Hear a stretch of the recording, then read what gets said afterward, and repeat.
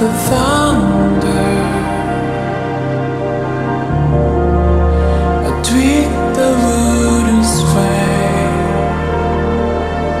in the wind.